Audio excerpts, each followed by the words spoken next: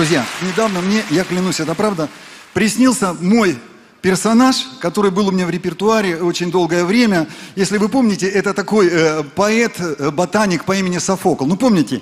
Ну, вы знаете, я женщин стесняюсь, я их посисниваюсь.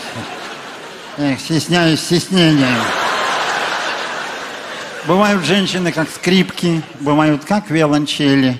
Я в жизни совершил ошибку, женился на электродрели. И мы с ним разговаривали, беседовали полночи. В связи с чем я вас приглашаю в свой виртуальный сон. Ну, э, он обижался на то, что я его больше не задействую в репертуаре. Я говорю, ну а у тебя что-нибудь интересненькое есть? Он говорит, Естественно. Естественно. Во-первых, у меня проверенные хиты вот про женщин. Одна толстушка двум подругам говорила, своей толстостью я мужу мщу сполна. Я не позволю, чтобы у этого дебила была красивая и стройная жена.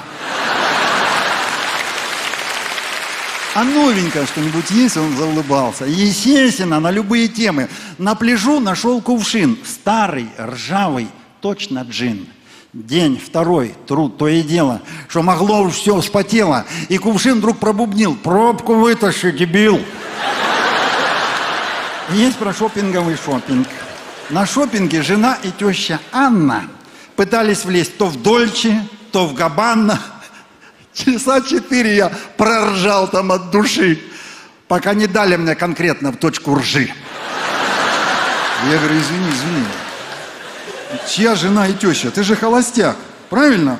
Он отвечает, естественно, я холостяк, это э, семейное гнездо моего соседа Каляши, вот, мать и жена, вот, а я же женщин стесняюсь, я их посисниваюсь. Я целовался всего один раз в седьмом классе, поцеловал школьное знамя.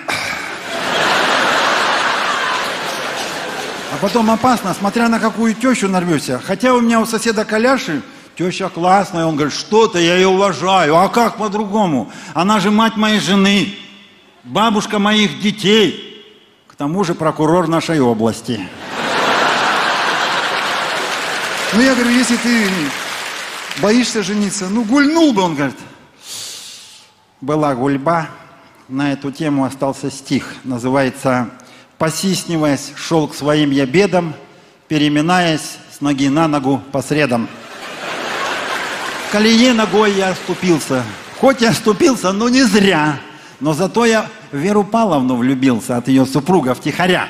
Мы с ней тихорились дня четыре. Я не знал, что муж ее качок. Он на пятый день обычной гирей в голове моей нарушил мозжечок.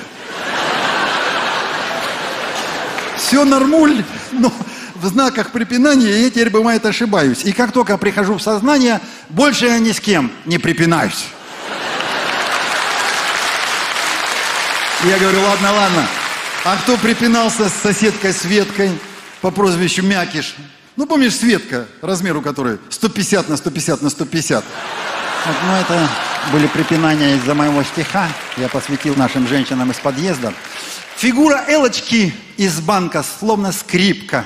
Гитарный стан имеет маникюр шаляля. Ну а у Светки там какая-то ошибка. Фигура просто крышка от рояля. Она со мной не разговаривала очень долго. Очень долго. Что ты? Очень долго. Наверное, минут сорок. Пока я ей персональный стих не написал. Называется «Бесконечность». Не видно, где левый, и правый, где берег. Знакомьтесь, Светлана, где брошка, там перед. А я ей говорю, Света, а потом ты зря на меня обижайся. Ты сама сказала, у тебя такая фигура, тебе все идет. Помнишь, ты на фитнесе обруч померила, а он тебе как раз. Я говорю, ну женщин обижать нельзя. Женщинам надо говорить комплименты. Ведь женщина, она любит ушами. Вы скажите, это ли не чудо? Просто расскажу ей про Майами, а вести ее туда не буду. И он подвел итог как мог. Эх, жизнь без женщины, тоска и грусть сплошная. Уж кто, а я как холостяк об этом знаю. Хватит посисниваться, завтра же влюблюсь и в сон волшебный вместе с Милой провалюсь. И чтобы было для кого в жизни стараться – и чтобы приятно было вместе просыпаться. Пусть будут сны ваши добры необычайно, и не проспите свое счастье вы случайно.